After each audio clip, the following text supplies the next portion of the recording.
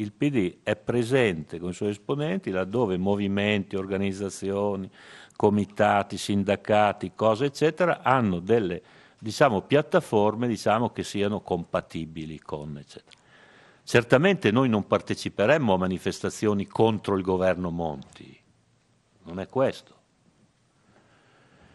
Eh, però se io fossi ministro dell'industria del lavoro vorrei chiamare per esempio Fiat e capire ma è vero quel che si dice di Pomigliano?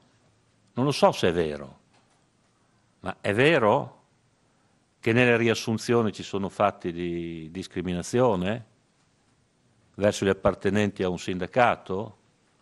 Perché questo non, non andrebbe bene, eh? Eh, perché eh, cioè i diritti basici dei cittadini e dei lavoratori non sono solo cose dei sindacati, no?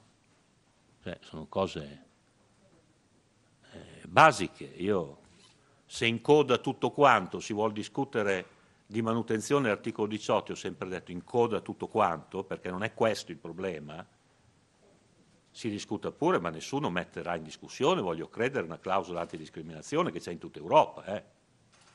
C'è in tutta Europa una clausola antidiscriminatoria.